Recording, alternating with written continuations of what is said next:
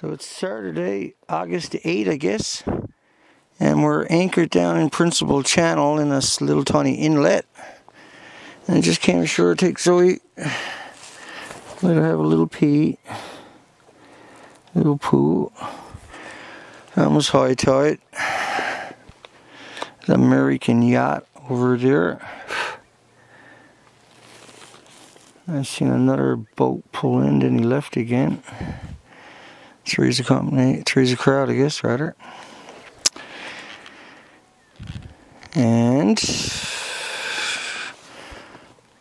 not much in here, I tell you what, pretty naked. There's a couple of seagulls though, here. Probably seven or eight of them here. That's an unusual one. And we should hit Prince Rupert tomorrow. Fuel up tomorrow morning, 10 o'clock, 11 o'clock, and then head up towards Alaska. On the fifth expedition for life in 2015, and the final one. And finally stopped raining, blah, blah, blah. And outside, I got the Zodiac repaired. Somebody slashed it a couple of days ago on me. Anyway, let's hope that holds out. It's Sunday, August 9th, I guess, 2015. That's Prince Rupert. He's way in there.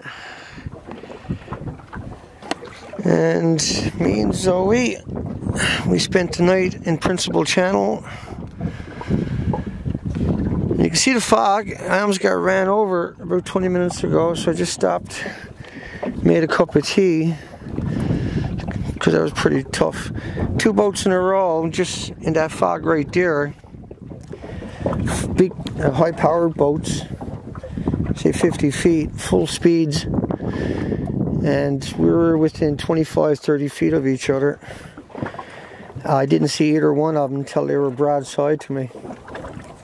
So yeah, that's not cool.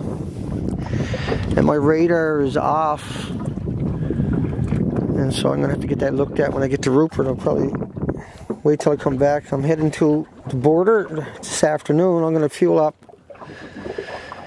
And let me see, I left Wednesday, Thursday, Friday, Saturday, today is Sunday. It's five days to get here. And when I fuel up, it'll be about $900, I guess. But yeah, that fog, that was so thick. I should have just stopped and dropped the anchor and waited for it to burn off. That wasn't very clever of me. And anyway, let's head in, I guess. It's Sunday, August 9th, 2015. We're in Prince Rupert. It's 10:30 a.m. Waiting for a spot to open up, open up on the dock here. Fuel up, fuel up, and then we're gonna head. We're gonna head north. We're gonna head north anyway. Right, Zoe. Sound good, buddy? As soon as we get a spot to head up, so just a quick video for everybody. Yeah, I know I need a shave and a shower. It's five days. I'll get there, and when I get up there, I can get a shower up here. Haha. Alrighty, we're in good spirit. Take care, folks.